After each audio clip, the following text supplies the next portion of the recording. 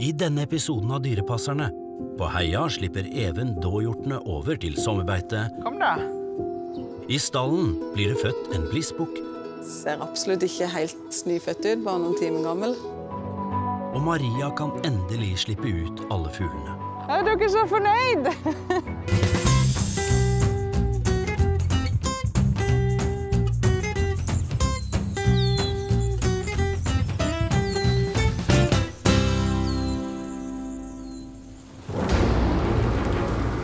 Det begynner sakte, men sikkert å nærme seg høysesong i Dyreparken. Men før sommeren kommer for fullt, er det mange ting som må på plass. Været kan noen ganger være en utfordring, og i dag regner det skikkelig. Det gjør at noen av dyrene holder seg inne. Mens andre trives godt ute i regnværet. Til tross for været er dyrepasserne Even og Solveig tidlig oppe og ute på sin morgenrutine. Nå så skal dåhjorten få frokosten sin. Så nå skal vi gi dem høy og kraftfôr og så telle over oss og se at alle er friske og raske. En viktig del av forberedelsene dyrepasserne gjør før sesongstart, er å vende annet dåhjorten til mennesker. En stor gjesteopplevelse i parken er å være nær dyrene, og det betyr at det kreves litt tilvenning når våren kommer. Alle på plass? Så bra. Det er godt. Så får du bruke litt tid på håndfôret ditt, Solveig. Ja. Det er viktig også å telle over og se at alle dyrene er her. og At ingen har eh, rømt eller, eller ligger og skada et sted. Så det å ha kontroll på at alle dyrene faktisk er til stede, det er kjempeviktig det av jobben. Vi håndfôrer de får prøve å få de litt tamme, sånn at vi får mulighet til å observere de på nært hold. Vi, vi får mye bedre oversikt over dyrene. Sett at de er friske og raske. og Når de først er vant til å komme til oss, så, så vil vi med en gang oppdage hvis noe er feil, for da vil de sannsynligvis ikke komme. Også i tillegg så begynner vi å nærme oss sesongen, hvor vi får besøk av masse gjester. Og da ønsker vi jo at eh, dyrene skal være så komfortable som mulig med mennesker, sånn at de kan være med og gi gode opplevelser til, til barna som besøker oss.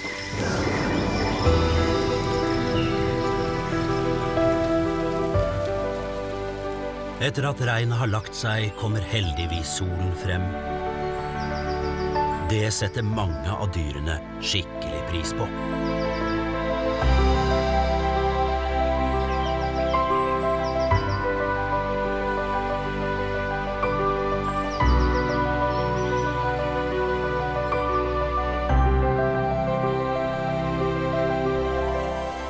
Det gjør også at dyrepasserne kan ordne de siste tingene som må på plass før sommeren er her for fullt. Nå holder vi på å rage ned frøene på savannen.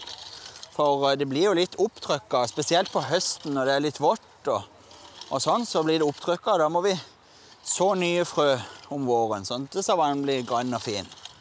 Så nå bare rager vi lett over, sånn at frøene kommer ned i jorda. Og så har vi gjødsla og kalka og styrt på. Så dette blir bra. Det er greit at det har vært når vi får litt vann på det her, og det forhåpentligvis begynner å spire. Så blir det vår i år òg. Og mens gjengen er ute og forbereder savannen, er dyrepasseren Lisbeth inne i stallen og forbereder en helt annen ting. I dag så skal jeg bare tenkte skulle rigge ferdig boksen til Blissen. Det er det jo snart åtte måneder siden vi observerte paring her, så da begynner det å nærme seg kalv. Og når kalvene blir født, så er det viktig at de har sånn godt lag å stå på, så ikke beina skal skli rett ut, og så blir de liggende, så kommer de seg ikke opp. Dette her er noe vi kaller bliss-antilope. Vi har to typer antilope i parken. Så vi har noen store landantiloper, så har vi de her som er noe mindre.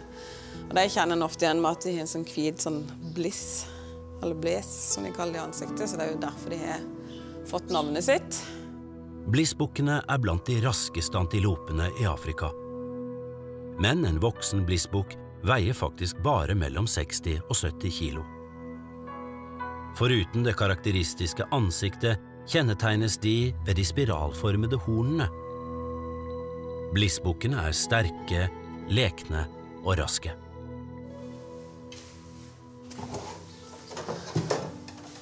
Alt er gøy med nye dyr, og spesielt Bliss. Altså Bliss er jo et av de mer ukjente dyrene i Dyreparken. Så det blir gøy. Jeg gleder meg. Så håper ikke det går altfor lenge før han kommer. Sånn. Så legger vi på litt nyspon og litt halm. Håper vi det skal jeg snart. Så satser vi på at dette her er god seng for henne å føde i.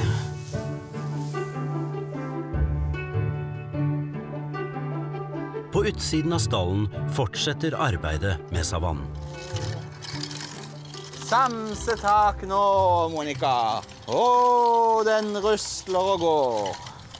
Au. Det er mange her i dag. I dag med hele avdelingen på når vi skal røsle og så savanner. Det er jo en svær jobb. Så hvis vi er mange, så går det litt fortere. Og så er det jo litt hyggeligere òg når vi er mange. Så ikke står og sliter med dette her alene. For da ser det gjerne en dag eller to. Nå må dyrene være inne i noen uker, sånn at disse frøene får tid til å spire og, spire og grå. Så de, de blir rett og slett nødt til å innfinne seg med å være inne et par uker, sånn at det skal bli grønt til sommeren. Så de må rett og slett bare holde ut de ukene i luftegårdene. Men alle dyrene får lov å komme ut og lufte seg, så jeg tror nok det går fint. Og så blir det jo desto større jubel for dem når de kommer ut. Og virkelig får hoppe rundt. Vårslipp er jo veldig gøy. Med forberedelsene på plass gjelder det bare å vente på at gresset vokser til og at området blir frodig. Og da kan dyrene nok en gang leke og nyte solen på savannen. Rundt om i dyreparken bor det forskjellige fugler av alle regnbuens farger. Men i det siste så har fuglene måttet holde seg inne pga. fugleinfluensa. Fugleinfluensa er et virus som kan spre seg mellom fugler. Og siden det er funnet på noen ville trekkfugler, må dyreparken skjerme fuglene slik at de ikke kan bli utsatt for smitte.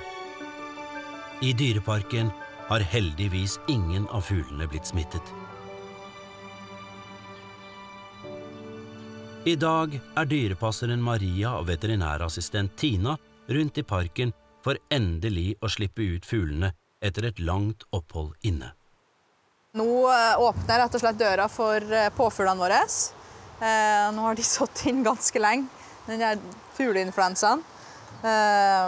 Så nå må vi bare åpne slusene så de får komme seg ut.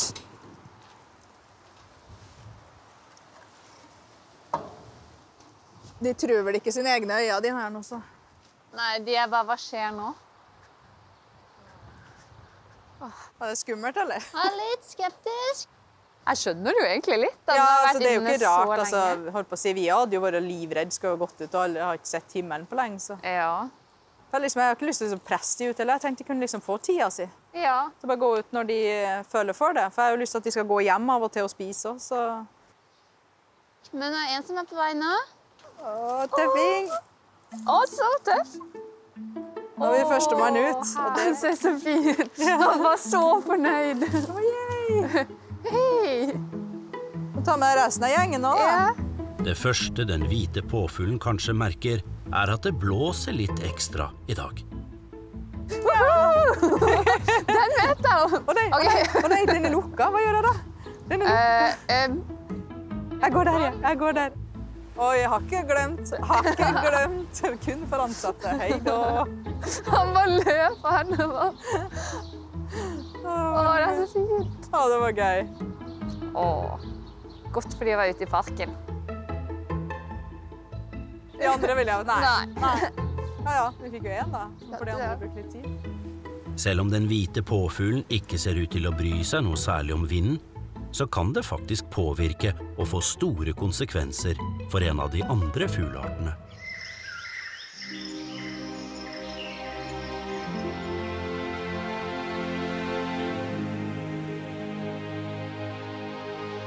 Tilbake i stallen er det en fødsel på gang.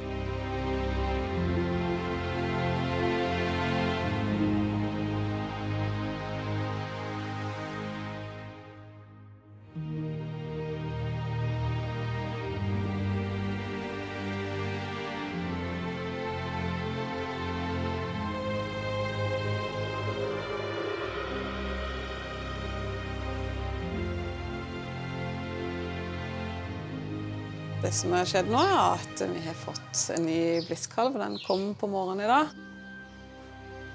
Så det er veldig, veldig gøy. Vi har jo ikke hatt altfor mange blisskalver her før, så det er ikke så ofte å oppleve de fødslene der.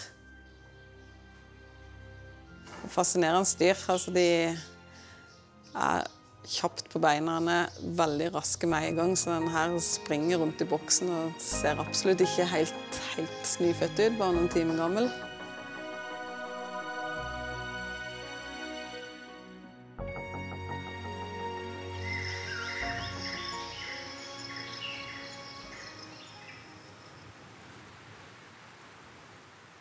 Tilbake hos Maria fortsetter fugleutslippet. Men nå har vinden økt i styrke, og det skaper utfordringer.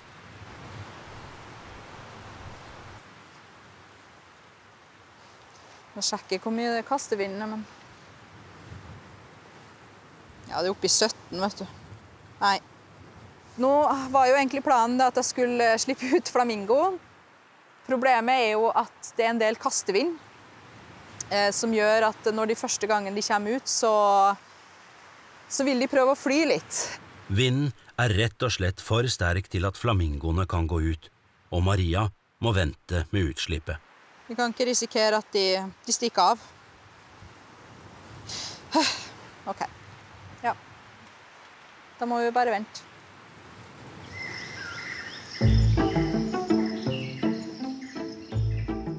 Den nyfødte blissbukken har rukket å bli én dag gammel. Og i dag ordner Lisbeth til slik at den kan komme seg ut for første gang.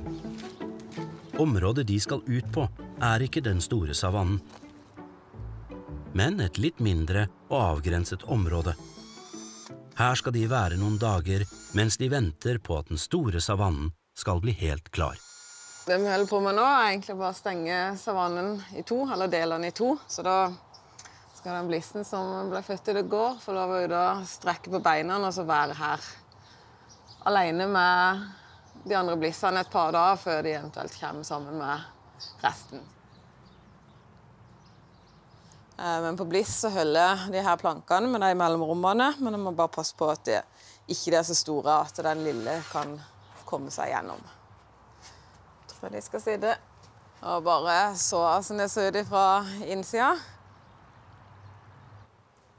Vi pleier hver morgen å ha ei runde langs kanten, for det går jo gjester hele veien. Og av og til noen som er uheldige og mister ned noe, eller så blir det tatt av vinden, så blåser de inn her. Nå er det bare å slippe de ut. Så nå har gresset fått lov å gro. Så det ser veldig veldig fint ut. Det er alltid gøy når dyrene har ikke fått spist gress på en liten stund. Det er noe de setter veldig pris på. Så det er veldig gøy å se. Så da tror jeg vi bare går og åpner opp for dem.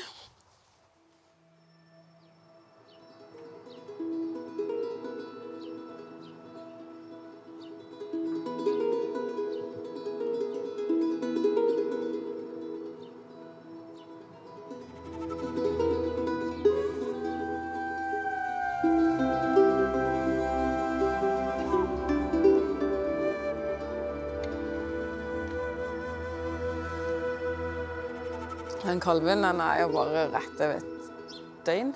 Eh, Så det er ganske vilt og fort de er på beina, de små. Den fulgte jo meg ut av boksen, gjennom portene, gjennom under brua her, rett ut. Når mora springer, den følger meg på sida. Du ser han er fortsatt litt sånn nyfødte beina når de går litt, litt utover. Men jeg klarer seg kjempegodt. Jeg har god fart og følger med resten av flokken. Så det er veldig gøy å se. Så nå gleder vi oss egentlig bare til vi kan få fjerna de plankene som er satt opp her, og åpne opp hele og slippe de sammen med resten av gjengen inn i stallen.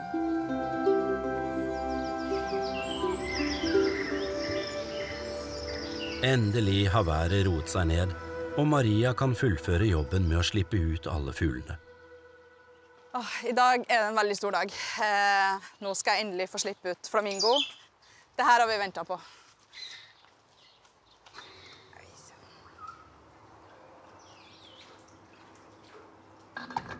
Skal dere ut litt? Hæ? Å, heldiggrisene! Å, så deilig!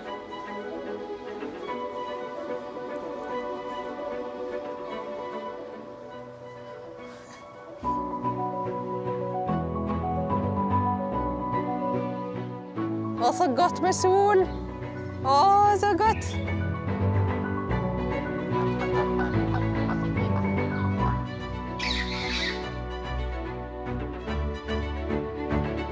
Er dere så fornøyd? Er dere så fornøyd? Nå er jeg veldig fornøyd. Nå er endelig, endelig alle fuglene kommet ut.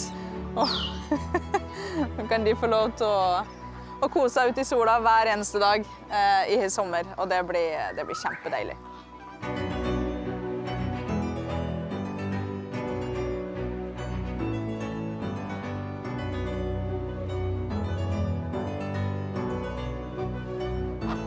Er dere så fornøyd? Det gode været betyr at flere dyr kan bytte område, og oppe på heia kan Even endelig slippe dåhjortene over til sommerbeite.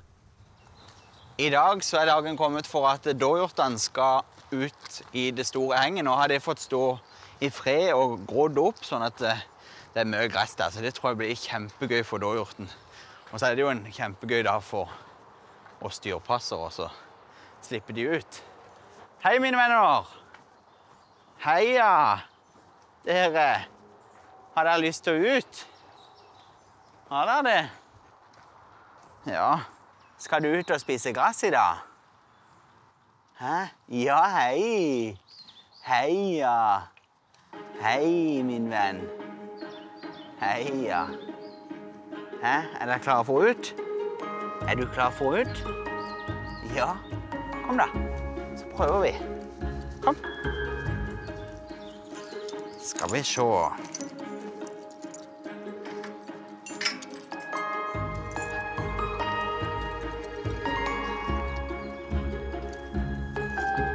Hei.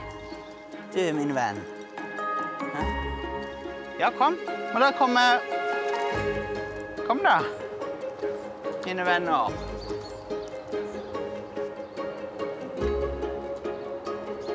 Ja, kom. Ja, dyktig.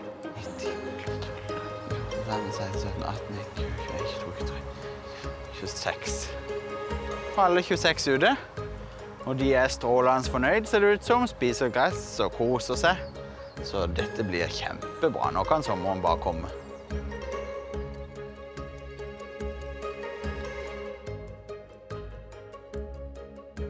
Og med dåhjortene ute på sommerbeite, så er det på tide å slippe de afrikanske dyrene ut på den frodige savannen.